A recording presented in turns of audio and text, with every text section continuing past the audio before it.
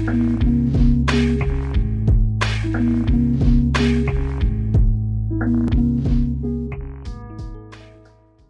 morning, everybody. Uh, so just as we get started, who has been here for the last two or three days? Raise your hands if you were here for the science part. And who is not here? Who's here just for today? Okay, great. Thank you very much.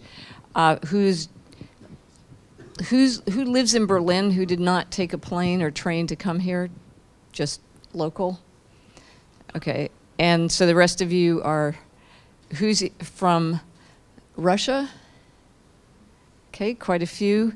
From the rest of Europe and from other country uh, continents, Asia, U.S. Okay, great. Uh, so what we're going to do right now is have a recap of what those of you who were the first ones to raise your hands heard, and I'm one of the new ones as well, so I'm going to ask them what this all meant. And then we're really going to transition from talking about the technology and the underlying science and the developments to what it means in the real world of business. And so in science, you assume you have a data set. In business, you need to figure out what data set you need, and then you need to figure out what data set you can get, and those might not be the same thing. What kind of impact does that have? Uh, can science overcome some of it? The, these are the kinds of questions we're going to deal with today. And our speakers are by and large going to be business people, even though some of them are quite technical. So they're used to being asked questions. And we hope that you will ask questions or you might even volunteer comments because many of you are yourselves technical and have a lot of experience. So we're hoping today to get a lot of back and forth. And to start that, uh, I would like to ask, first of all, Arkady to give a, a small context for the new business people. Just, you've heard, Okay, how many of you know what Yandex is? Okay. How many of you really don't, but you came anyway? okay, well, we'll assume you know what Yandex is. We'll, um, we'll start then with Nathan to just give some background on what happened for the last few days. What, what was new, what was mentioned, uh, what did you learn? So first of all, it was a very intense uh, conference. The first day was 13 hours straight with very, very short intermissions. So obviously it's going to be very difficult to summarize it in a few words. And I'm going to miss a lot of things. And those of you who were there, uh, who were here in the last three days are welcome to later join in and mention those things that uh, I'm missing or the important things I'm missing. So basically, machine learning is about 65 years old. Uh, and uh, throughout the years, there were a lot of developments and a lot of things that uh, were left and uh, gone down the drain. And uh, nowadays, basically in the last 15 years, there are two techniques, two major techniques uh, that are really becoming the main tools in machine learning. One of them is deep learning, uh, deep learning was basically started several times by Geoff Hinton. Uh, it was neural network in the very early 80s he started that and uh, then in the early 2000s he uh, termed it uh, deep learning and uh, this is now one of the major fields in which a lot of success in applications has been happening. the other field is what's called support vector machines. Uh, this is a very deep, uh, is based on a very deep mathematical theory. I'm not going to talk about that. Um, uh, and and uh, the person who uh, really started it was Vapnik with his colleague Chervonenkis. Uh, and uh, Vapnik was here uh, to discuss uh, this. So I would say that on uh, deep learning we had uh, two keynotes. one of them was Lior Wolf from Tel Aviv University, and the other one is Pierre Baldi from Irvine. Lior uh, discussed, uh, did in the past a lot of applications uh, for face recognition, for uh, text analysis, for uh, image uh, analysis, for image to text analysis, etc. Pierre Baldi concentrated on genome and basically bio, biological problems. Vladimir Vapnik, who gave two talks, really presented a very new um, work uh, that he's working on, which has not been published yet. So maybe I'll mention a little bit more about it, just because uh, this is work you cannot yet read uh, in uh, papers, and uh, that is interesting. Uh, Bernhard Schölkopf, who is one of the key researchers in machine learning, one of the first students of Vapnik on that in kind of the modern era um, is uh, presented uh, his uh, stuff, also theoretical and applicative work around machine learning. Uh, I was pleasantly surprised to be exposed to a lot of uh, research and development that's taking, care, uh, taking place in Yandex. a lot of people with very good mathematical background on one hand, machine learning background and domain knowledge are applying uh, various uh, uh, approaches to sophisticated state-of-the-art problems. Um, to name a few, um, to name a few, I would say computational modeling, genomic modeling, um, in in terms of what uh, what the core uh, of Yandex is, of course, advertisements, um, uh, search engine, and the like recommendation engines uh, for media, for TV, for uh, music, uh, etc., geo-based applications like Yandex Traffics, etc.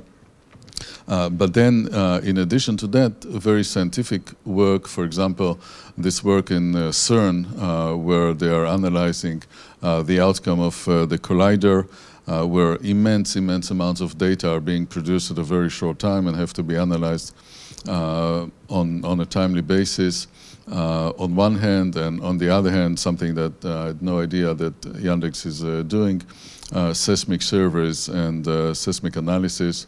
That's an area that's been around for many years, but they're applying uh, their own techniques uh, with uh, geologists in the background and new computational tools. So that was quite interesting for me, at least all really state-of-the-art stuff. Um, what uh, what we understood is happening specifically here in Yandex, uh, which kind of uh, was uh, new to me, uh, so I guess it may be new to others as well, is that they develop their own uh, tools for internal use, but also tools for other customers to use. And uh, then they bind themselves uh, with domain knowledge from uh, specific experts uh, to produce a nice result, and that was interesting. Um, as I mentioned, uh, Vapnik really presented two new concepts that are related to support vector machines, and that is useful to uh, to mention. The first one is synergy, and synergy is his approach for combining between experts. So the idea of combining between experts is about 25 years old, maybe even more, uh, and um, throughout the years it became established that simple averaging is the best way to combine between uh, experts. I actually talked about that uh, in my talk as well. Uh, demonstrating techniques to uh, to improve on that. Uh, but he's uh, looking into what's called the joint probability between the different experts and analyzing that probability. Again, there's a mathematical uh, trick there by assuming something about the monotonicity of the experts. He can then actually solve it in a very clean mathematical way. That was quite interesting. Uh, the other concept that he presented was privileged knowledge, and his example was very simple. So if uh, uh, we are trying to teach uh, um, a model to, say, discern between uh, cancer and non-cancerous uh, X-ray images, instead of just learning from the pixel representation of the data, he suggested to uh, look at what doctors write as a report on each one of uh, those uh, images and learn from the language that doctors are using to add uh, specific knowledge that can then be transferred to the actual estimation of images. So it was in the domain transfer, and he got into various uh, philosophical issues about uh, domain transfer in language and in poetry and in uh, various other uh, uh, domains. Uh, but the basic idea was that he's looking at this kind of domain transfer. there are still some posters on in the walls here and outside which represent some of the work that has been presented. And I think that kind of wraps up from uh, my perspective what was here. Of course, I left a lot of things uh, undiscussed, and hopefully, some of the people in the audience that were here uh, will add them later. Thank you. Arkady, you came in for the for the second Vapnik lecture. What did you hear? Well, uh, first of all, uh, this conference happened and it's important. There is an importance in it on itself. Uh, we know that there are some some conferences in machine learning already exist, and they existed before this conference. But uh, what actually, when we were organizing it, uh, the main thought was to understand: Do we have some some uh, knowledge here in Europe in this area, and uh, looks like the conference showed that yes, we have uh, the data, data, science school, which uh, was born in Europe, still exists. Uh, we look at each other and we see that we are here, we do exist. Uh, 50, 50 presentations of 60 total were done by people from Europe, uh, which means that yes, uh, this science uh, originates from here, at least in part. And this was one thing. And another thing was of those three days, which I noticed was this uh, argument between the two schools, which two major schools, which um, today exist, two different views on the data science. One is what we call deep learning, another with, with, which we call now intelligent learning, which originates from SVM, support vector machines. But the main difference in the approach is, uh, as far as I understood it, uh, was one school uh, tries to get a result without trying uh, to understand how the things are made of. Uh, in another, another school, it tries to, to understand how, how the things are made, what the things are made of, and then to uh, to predict what what's going to happen. Uh, uh, and as um, uh, as discussion uh, sh showed, what discussion showed here was that actually both approaches try to to what, what expressed as a, as a common uh, explanation of these two different theories, but what the discussion showed was that actually both approaches try to deeply understand what's going on. It's not, uh, uh, uh there, is there is much more in common than uh, uh, there is, there, there, there's a difference there. So, so let me ask, um, from a layman's point of view, I would say it's, it's basically the difference between pattern recognition and something that is more rules-based. But can you ultimately rec recognize a rule? Is that what we're talking about? Where do the rules come from? Uh, or the models? Well, uh, I don't know, you may. So basically, one uh, one thing about uh, that about um, support vector and, and deep learning, deep learning is emerging as uh, a very useful tool when there's immense amounts of data. And nowadays, for several problems, there is immense amount of data, and apparently deep learning was able to uh, do uh, quite a bit of stuff. But you know, even when uh, when looking at all the data in YouTube, and you can imagine that this is an immense amount of data, uh, still learning to, to uh, detect a cat or to distinguish a cat from a dog is uh, non-trivial. Uh, whereas we know that uh, human brains learn that from very few examples and very, very quickly. Uh, Vapnik was arguing that with support vector machines, uh, one can actually learn decent models or decent uh, representations of uh, data uh, with very little uh, amounts of data compared to deep learning. Uh, and this is what he's interested in, in trying to demonstrate that in a sense that there's no big data problem because that with very good models one can learn from very small amounts of data. So both are trying to learn the rules. One is not putting a lot of prior information in. Uh, and the question of how to put prior information in and that uh, touched upon signal processing and where signal processing uh, is signal processing going to be replaced by uh, machine learning or is it going to just augment machine learning uh, that was an, another issue and uh, I believe my personal belief is signal processing is here to stay and is actually being augmented by machine learning but cannot be replaced by machine learning something that some people started arguing. Vapnik put, put it uh, in this way. He says that his approach is in creating the violin, uh, the best violin possible, like Stradivari did, and the deep learning is to how to perform, how to play on, on a violin. It's like what Paganini was doing, playing on any violin. And, and uh, you know, in, a, in a, a, little amusing way, he said uh, some people uh, are very, very good players, and they can play on a poor violin as well without getting into issues.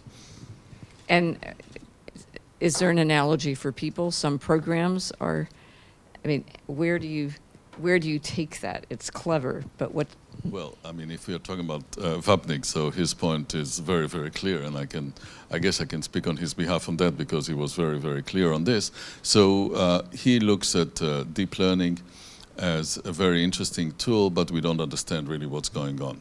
So from his viewpoint, there's no not enough science in it to really uh, make it into.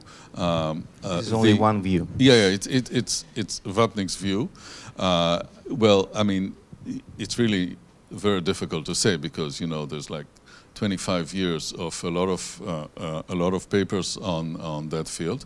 But the truth is, we don't really understand what is going on. And now that we are talking about deep learning, and deep learning is the idea of having different uh, several layers of uh, networks, then one cannot understand why you put another layer, what's called a hidden layer, another hidden layer, why you take many more um, uh, what's called neurons or artificial neurons in each layer.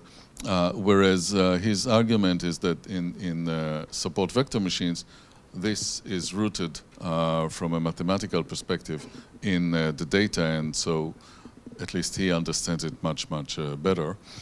again, this remains to be seen. I believe that obviously deep learning and, and uh, Yandex is doing a lot of deep learning, for example, as of course uh, many other presentations that we've seen here. So uh, there's a lot of very good applications uh, in deep learning. I mean, Geoff Hinton uh, took off uh, several percentage in speech recognition just a few years ago, and for about 20 years, no one was able to reduce any fraction of percent in speech recognition. So obviously there's immense uh, improvement uh, using these techniques. Uh, support vector machines is also very powerful in various applications uh, and demonstrating that. So, you know, the point is that there are really now two schools and uh, it's kind of interesting that, uh, that Yann LeCun, who is leading the School of uh, Deep Learning, is working hand in hand with uh, Vapnik, uh, who is leading, of course, the School of Support Vector. Thanks. So final comments, and then we'll do some audience.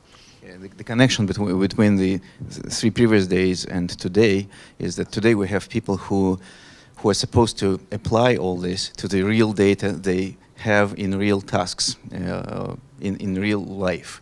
Uh, we have top scientists uh, of the corporations here, researchers, and uh,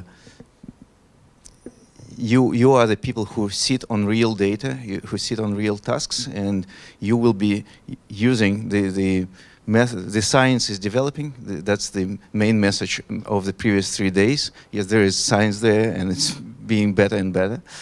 So there will be methods to resolve all these problems. And today, Uh, I think uh, on these sessions of on six six sessions which uh, will come, we will exchange. You will exchange actually uh, uh, ideas uh, and your experiences in what, what you really face in real life, and we we hope that uh, most of the interaction will be maybe behind this this. Um, So, in essence, are you brilliant musicians playing bad violins, or are the violins pretty good? Uh, some questions, comments? Anybody? Just raise your hand and someone will bring you a mic. So as we speak, by the way, Professor Vladimir Vapnik just uh, went into the room. So uh, if you have any questions, uh, he's the right He's person here to, to answer. answer them.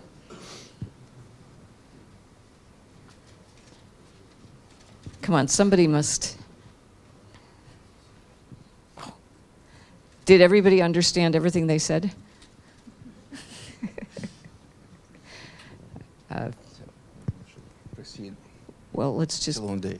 Pardon? It's a long day. Maybe we yeah, should, we could yeah. we could move on. Seriously, uh, yes, there is a question. Yuri Degin. It's, Yes, yeah, Yeah. just go ahead. yeah, because they they make We're, recording. we're going to record you and then interpret what you said. okay. The question is to which language? Well, uh, I, I think that this uh, discussion uh, regarding the controversy between these two schools was very relevant for the previous three days. Today we are at the business challenges. And it seems to me that, for that matter, the, uh, the, the, the, actually there is no question. This reminds me of uh, uh, one guy I hired, it was 20 years ago exactly, a professor from uh, Tomsk uh, uh, University, and I gave him a task, and after two days he came back with eight pages, ten, densely filled with formula, and uh, said, look, this is the proof that the task you gave me is equivalent to this particular problem, which is known to be unsolved, to be unsolvable. I told him, look, uh, I rebuked him, as a joke, of course. You, you wasted two days to prove me that this uh, problem is unsolvable. I knew it in the first hand. The, uh, your task is to solve this. And then I quoted uh, Boris Strugatsky.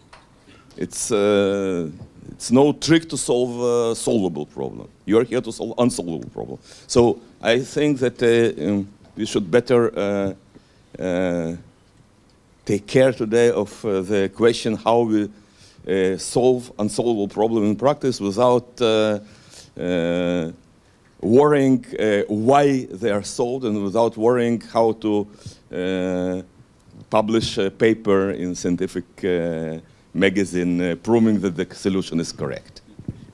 Okay, I think that's. Um, Let me- let just, me add to just one first. Please say who you are, and Arkady, you too. Just very. I'm Uri Degen. I'm uh, uh, deputy CEO of a TSG company in Israel. Thank you. So Arkady Borkovsky, and then uh, I think that was actually a very good way to start the sessions by talking about how we solve the unsolvable. Arkady, go ahead. Yeah, I really like Yuri's comment, and I want to add to this. So we are living in a very interesting time. Until now, the purpose of science was primarily for communication between scientists, so that they can share their knowledge and grow the knowledge of humanity together. And then somebody would take the science and apply it. We are getting to the situation where the science is actually applied by machines itself. And there is nothing wrong to use the science that we do not understand because we rely in our life on other people. And nobody understands and will ever understand how human mind works. And somehow we put a lot of trust into humans. And we put way more trust into humans than we put into technology or into science. So therefore, creating pieces of knowledge that can be executed in uh, computers is nothing different from educating people. And as we do not understand and trust people, so we should be able to create the active science that we could trust without understanding. It does not mean that any black magic is useful. We do not trust any person. We want to trust smart ones. So what we are getting to, we should be able to distinguish between things we do not understand and we should not trust, and the things we do, we do not understand and we should trust. And this is essentially a really exciting time. Yeah, and I would like to see a software that could help us do that. Anyway, uh, I think we are now ready. Unless there are further questions, we might as well get started because there is a lot to discuss. But this, this whole issue around understanding deeply versus understanding well enough to know which machines you should trust and which you shouldn't. And I think also another big question is are the machines actually being fed the right data? And those are some of the questions I hope we'll be discussing later today. So, with that, thank you very much. And